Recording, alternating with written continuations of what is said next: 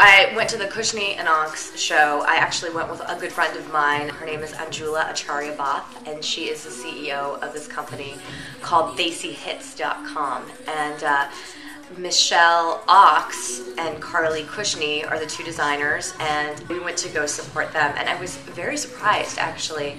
Uh, their stuff was great. Um, not sure how sellable it was, but what I did notice was that the fashion director and a couple of the buyers from Neiman Marcus were in the front row, which I find very interesting because if I were the buyers from Neiman Marcus, I would be walking around Fashion Week like this.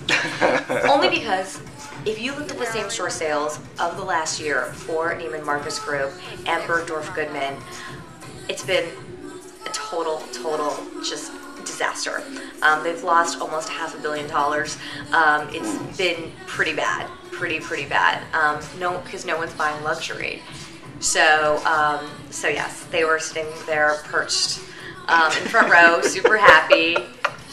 I love you guys. You're amazing, but um, I would be, I don't know, if I were them, it would be a little, uh, you know, probably slinking in in the back row and just taking notes and then slinking out and making sure that that my job was super safe in that sense. I wouldn't be sitting in the front row at all.